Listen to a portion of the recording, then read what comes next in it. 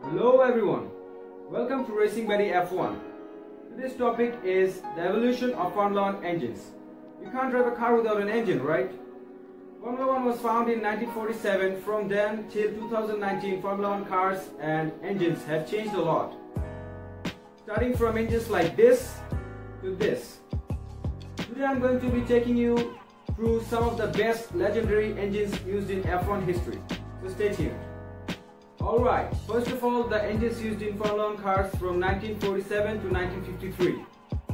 In the first 7 years, the engines used were 4.5 liter atmospheric engines and 3 liter supercharged engines.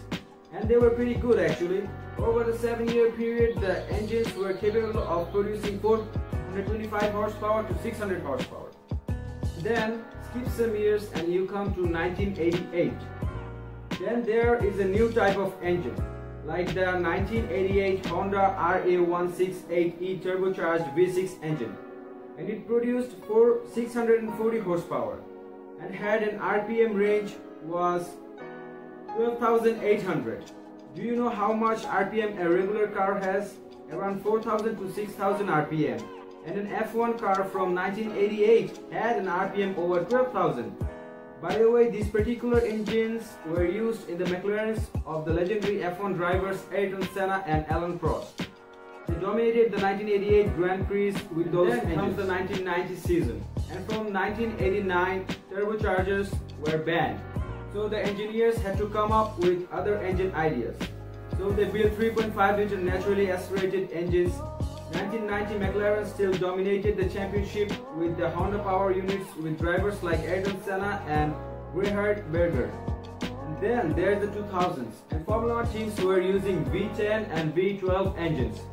And the engines made around 1000 horsepower and had over 19,000 RPM. Compare that to a normal car. And their cars sounded awesome. Take a listen.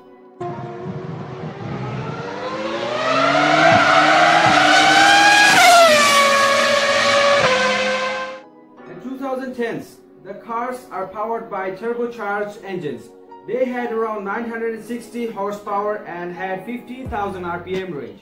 And at last 2019, the present season, the engines are 1.6 liter V6 turbocharged hybrid engines and it has 600 horsepower and 18,000 RPMs. And that's cool. Anyways guys, thanks for watching. I will see you in the next one. Bye bye.